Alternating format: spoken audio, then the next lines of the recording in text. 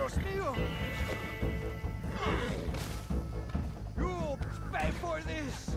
Get your hands off me! Oh, hell! Shit! Puta!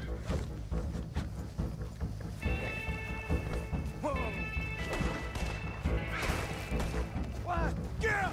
Carajo! Take your hands off me! Looks like we got him. Okay.